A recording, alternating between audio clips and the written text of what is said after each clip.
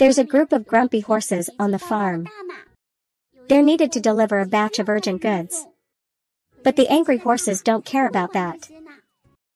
Look, he's about to get angry again. He's kicked over the little truck behind him. The farmer is really helpless.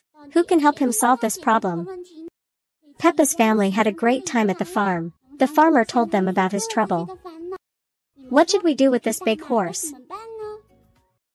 Daddy Pig said, maybe we can quietly put it on. They started doing what Daddy Pig said. They used his method. They gently placed the goods on the cart. Then the horse wouldn't notice, right? Oh, it failed. It seems like this horse is really grumpy. Dad, I have an idea. Tell me quickly. Hmm? Should we try using some grass to lure it over? That's a good idea. Let's try it. Peppa pushed over a cart full of hay bales. There's so many. I'll go and talk to Big Horse. Dear Mr. Horse, if you could transport these goods, all these hay bales would be yours.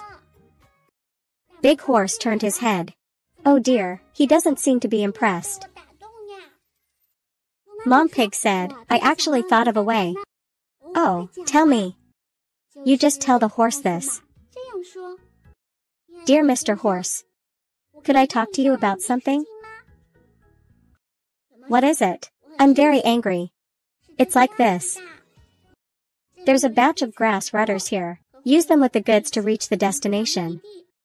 If you get there, all the grass rudders are yours. That's a good idea. I'll think about it.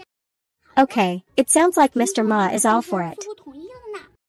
That's a good idea. Let's put them in the car now. Let's put some chopped grass in first, because they're lighter. And when we arrive at our destination, Mr. Horse will be able to eat the chopped grass. Put it in gently.